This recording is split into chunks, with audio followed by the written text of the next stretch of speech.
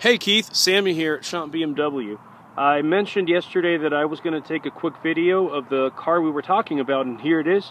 The 07 335xi, silver, black interior. So let me do a quick walk around here just to give you a better idea, and uh, so you'll have a better feel for what the vehicle looks like, the size. Let me show the other side show you the other side here as well.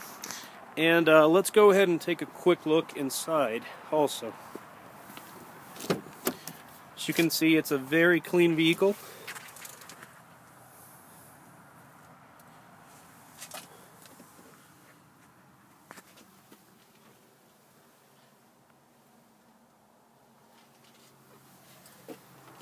Okay.